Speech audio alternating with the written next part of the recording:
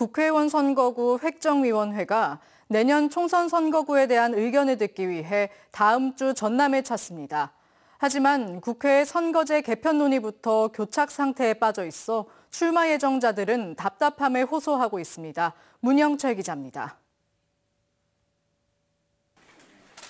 중앙선거관리위원회 산하 국회의원 선거구 획정위원회가 오는 23일 전남을 방문합니다. 내년에 치러지는 22대 총선 선거구에 대해 정당과 시민사회단체, 전문가 등의 의견을 수렴하기 위해서입니다.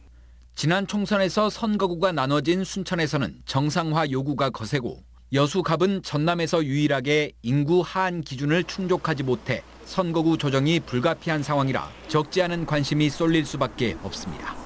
지역의 특성에 맞춰서 이렇게 되는 게 바람직하다. 그런 의견을 제일 많이 제시해 주시고요. 현재 획정 기준에 불부합하는 그런 선거구 현황을 제시를 했었는데 조정에 관한 말씀들을 하지만 선거구가 언제쯤 확정될지는 여전히 안개 속입니다.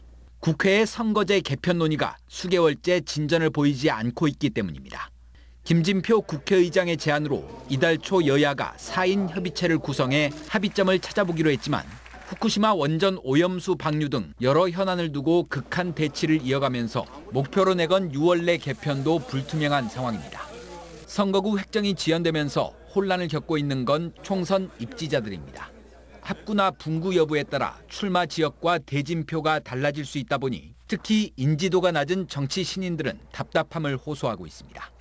요새를 찾아다녀야 될지 이렇게 지금 하는 게 만족돼갖고 시민들이 뛴다는 것이 굉장히 불안정하고 헛수고를 하고 있나 이런 걱정도 되고 지난 21대 총선 당시에도 국회는 선거를 불과 39일 앞두고 선거구 획정안을 통과시켰습니다.